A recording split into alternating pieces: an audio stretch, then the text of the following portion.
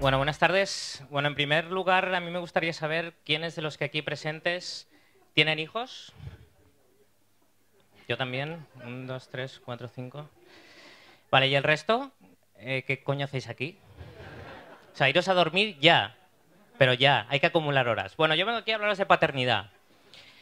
Paternidad con P, de padre. ¿Vale? De padre, de, de puntería, de pajas, de películas, porque ser padre no es como salen, las como salen las películas, no es tan idílico como creemos. Todo empieza en la ECO. ECO son las siglas de erección, cópula, orgasmo, ¿de acuerdo? Aunque lo de orgasmo se puede sustituir por apareamiento, porque básicamente uno a lo que se dedica es aparearse con fines procreativos. Bueno, en realidad todo empieza cuando la pareja, dec- perdón, cuando la mujer decide que hay que tener hijos, ¿vale? Es el momento, yo lo soñaba de adolescente, de verdad, porque era el momento en el que una mujer te llama para hacer el amor durante tres días seguidos, a toda hora, por teléfono. Yo no sé si habéis hecho el amor con un calendario en la mano, pero puede llegar a ser horrible. Bien, bueno, yo no sé si habéis leído mi biografía, yo tengo tres hijos, si no lo pone en mi camiseta. Soy un tipo raro, ¿vale? Mis hijos tienen 5, 3 y 0 años. Y todo empieza en el momento del embarazo. Hay que pasar, a la mujer hay que comprenderla, hay que tener mucha paciencia, momentos de cordero degollado, hasta que un día, voz de ultratumba en final de pasillo, cariño, creo que he roto aguas. ¿Y a mí qué me preocupa? Soy hombre. ¿Qué nos preocupa a los hombres? ¿Qué coño hacer con el coche? De verdad, a mí me producía mucha ansiedad. A ver, tías, no os enfadéis, coño, somos hombres, somos simples, pero somos prácticos. Llegas al hospital, no pilléis el coche, por cierto, ir en taxi, que luego es un problema. Llegas al hospital y llegas con tu orgullo de hombre y ya te imaginas la película de ¡Hemos roto aguas! ¡Rápido! ¡Entremos! Su mujer a la sala, usted aquí. Ya empiezas a ser usted, ya eres el marido de, eres el padre de, empiezas a no ser nadie. Sala de 3x3, maromos, con caretos, serios, medio dormidos. Y a las 18 horas de espera te das cuenta que has cometido un gran error, que es que has avisado a tu suegra en el minuto uno del parto. ¿Vale? Eso fue en el mi primer hijo, los dos siguientes partos ya no lo hice, por supuesto. Bueno, la cosa se lía en el hospital. Sube- subes, bajas, eh, tienes momentos de cronometración muy intensos, hasta que al final se abre la puerta de la sala de dilatación y una matrona de pelo cardado te dice, pase. Yo, de verdad, yo seguía pensando que era como una película, coño. Yo creía que las salas de dilatación eran con paredes rosas, todo un pequeño paraíso.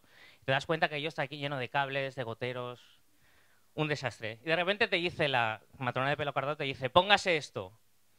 Pijama verde con gorro y peucos. Y entonces uno le viene la imagen y dice, coño, la primera imagen que se va a llevar mi, mi hija de su padre va a ser esta, coño. Te empiezas a hacer la idea, subes al potro, momento ya intenso de vamos cariño, lo tenemos, la matrona animando y suena la gran frase. De verdad que la tengo grabada. Venga cariño, fuerza, empuja, hazte caca cariño. Mi hija nació al grito de hazte caca cariño. Eso no sale en las películas. Cuando nació había un grupo de como unas 13 personas mirando. Mi mujer es patarrada, la pobre mujer. Ginecólogos, pediatras, tíos en prácticas. Pero bueno, hospital, finish, nos vamos a casa. Uno está allí con el niño y se convierte en jefe de prensa. ¿De acuerdo? Empiezas a llamar a toda la peña. No, no vengas hoy, que viene no sé quién, no compres esto que ya lo tenemos. Te dedicas básicamente a ir a Mercadona a comprar papas y pañales. Es un poco la labor del hombre. La mujer lo pasa mal. Entra en una depresión postparto, más larga, menos larga, y eso en el hombre se convierte en un marrón postparto, ¿de acuerdo? Tiene que multiplicarse, tiene que hacer una serie de cosas jodidas, ¿de acuerdo? Yo recuerdo que allí un domingo un colega que tengo por aquí me llamó y dice, Nano, ¿cómo vas? Bien, bien, la cría, bien, bien. Y yo le dije, Nano, ¿tú te has levantado esta mañana y qué es lo primero que te ha preocupado? Y me dijo, las descargas que llevo del emule. Esa era mi preocupación anterior.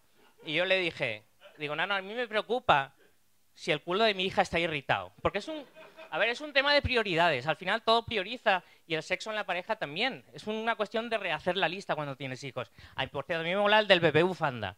Porque estás ahí durmiendo y dices, coño, mi mujer, y luego te das cuenta y dices, ¡Dios! Y es tu hijo. A ver, son muy monos los niños, de verdad, los adoro. Yo tendría más. Y no soy del Opus, tendría más. pero a veces son diablos, no hacen más que llorar, se cagan, mean. Pero yo realmente, ¿por qué estoy aquí? Pues la última diapositiva es de mi hijo. Por dos razones. Porque a mi hijo le pongo las camisetas que un colega y yo diseñamos. Y en segundo lugar, porque ser padre no es como salen las películas. Es infinitamente mejor. Ahora, hacer el amor y no la guerra. Todos a tener hijos. Gracias.